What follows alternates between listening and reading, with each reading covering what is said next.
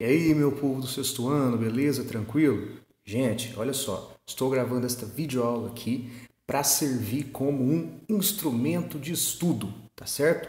Este capítulo aqui, nossa aula 30, né, nossa trigésima videoaula gravada, ela vai servir para você, quando for estudar para o simulado, vir aqui e observar os nomes, os conceitos, tá? Então, vejam essa aula, Comenta embaixo o nome de vocês, se contará como presença. E vamos para a nossa aula online, né? complementar esses assuntos aí, explicar esses assuntos. Então, aqui, o que eu vou fazer nessa aula?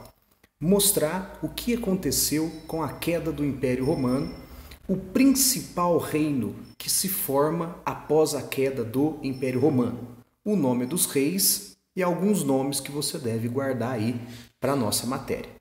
Tranquilo? Vamos lá? O Império Romano cai, né? O Império Romano cai. No ano de 486, um importante líder guerreiro da tribo Franco, né? Os francos eram uma tribo, era um povo do norte, eram os germanos, né? Os francos, eles vão ser aí os primeiros povos a se unificar e a formar um reino cristão. Isso mesmo. Em 486, Clovis, né? ele ataca o último posto romano, a Gália, onde hoje ali é a região da França. Tá? O Clovis é importante porque ele vai unificar as tribos francas. Né? Os francos, a gente estudou aquelas características gerais dos povos germânicos. Tranquilo? Os francos tinham aquelas características. O Clovis, o líder guerreiro, não é? ele vai unificar as tribos dos francos e vai ser o primeiro, o primeiro bárbaro a se converter ao cristianismo. Olha que importante. Clovis é importante porque ele vai formar o primeiro reino é, bárbaro, cristão. Sim, ele vai converter, ele vai, é, é, ele vai fazer todos os francos a se converterem ao cristianismo. Né? Por que, que a Igreja Católica é uma instituição que sobrevive? Porque ela convence os francos né, a acreditar nas ideias de Deus e Jesus Cristo. Lembrando que esses povos eram politeístas. Então guarda aí, né? Os francos invadem a Gália, onde era o Império Romano. Ele, o Clovis, então, ele vai transformar aquela região no reino franco. Ele unifica tudo em um reino, não é? E vira cristão. Nesse quadro aí, claro, não é um quadro da época, é um quadro posterior que tem na sua apostila, depois a gente vai lá ver o artista. Nesse quadro aí você dá para ver ele ali com a cruz, com a cruz na mão ali embaixo, não é? Ele é um reino que vai se tornar cristão. É isso que vai acontecer com o Império Romano. O Império Romano do Ocidente caiu e você vai transformar ele em vários reinos bárbaros cristãos. Tranquilo? Então guardar o Clovis, né?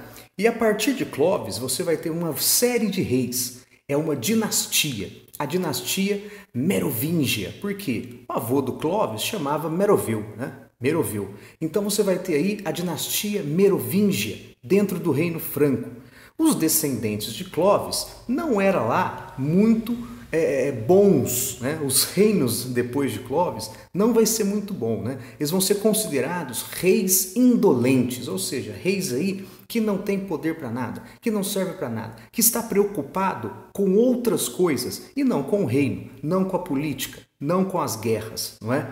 Então, um cargo, né, um cargo, o major domos ou os prefeitos do palácio que comandam um exército começa a ficar mais importante que os próprios reis da dinastia merovingia. Em 732, um prefeito do palácio importantíssimo, o Carlos Martel, né, ele vai impedir que os muçulmanos invadam a região da França. Essa é a chamada Batalha de Poitiers. Né? Ele vai impedir a entrada dos muçulmanos na França. Né? Lembrando que os muçulmanos dominaram a Península Ibérica.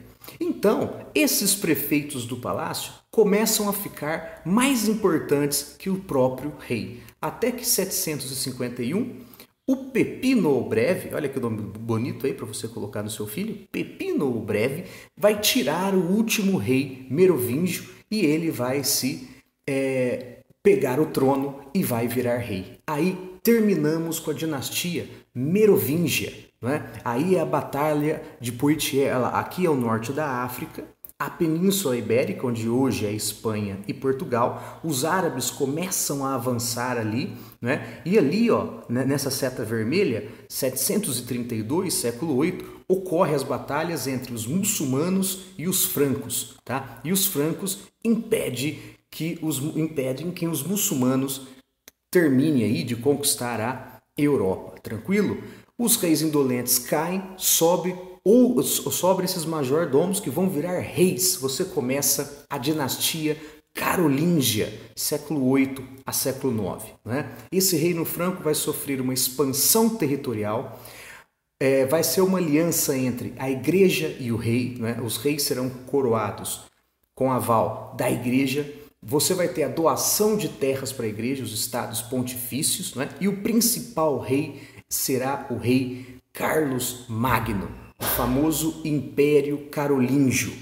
Beleza? Carlos Magno, o Império Carolíngio. Ele vai organizar todo o Reino Franco. Vai ser o período mais próspero de todo o Reino Franco.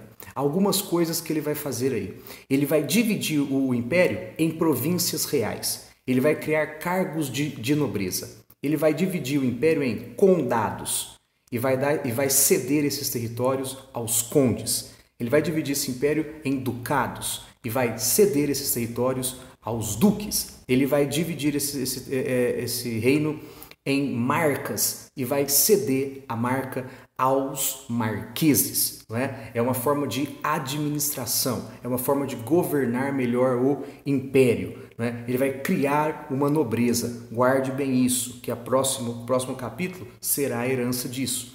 Você vai ter os missi dominici, que são inspetores do rei. Né? Eles estão ali atento ao que acontece no reino e conta tudo ao rei. Ele vai organizar as leis escritas, ele vai organizar a moeda do império e ele vai fazer aí um desenvolvimento cultural nesse império carolíngio. Ele vai criar escolas, ele vai criar mosteiros, né? ele vai é, incentivar a escrita, ele vai traduzir textos da Grécia, de Roma antiga, né? ele vai ser coroado em 800 o imperador do Ocidente. Não é? é como se o Império Romano tivesse voltado na mão de Carlos Magno. Porém, ele morre. Né?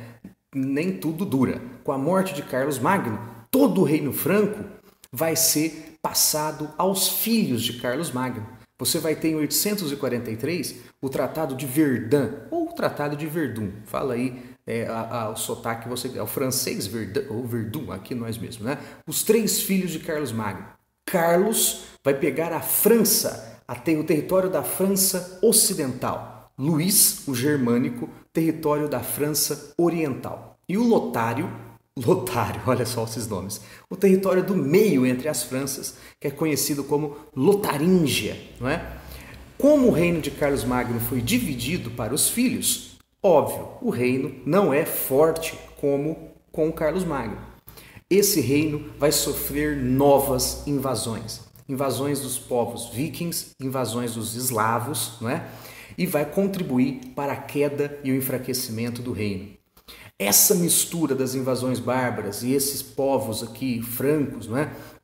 Vai formar o que a gente vai chamar de sociedade feudal. A galera começa né, a se isolar no campo e buscar abrigo àquela nobreza antiga. Né? O rei vai enfraquecer o seu poder. A contribuição para a sociedade feudal, guarda aí para a gente estudar na próxima aula. Olha só aí o território. Esse era todo o reino franco em vermelho, né? em vermelho. Para o Carlos, em verde. Luís né? e o Lotário, o centro. Aqueles ali são os estados pontifícios. São terras, são terras que o Pepino doou para a igreja, são territórios da igreja. Galera, dei uma pincelada legal no capítulo 12, certo? Essa aula aqui, se você quiser voltar a estudar para o simulado, venha nessa aula. Vamos agora para a nossa aula ao vivo, ler a apostila, complementar o conhecimento dessa aula e resolver os exercícios. Muito obrigado, até lá, abraço.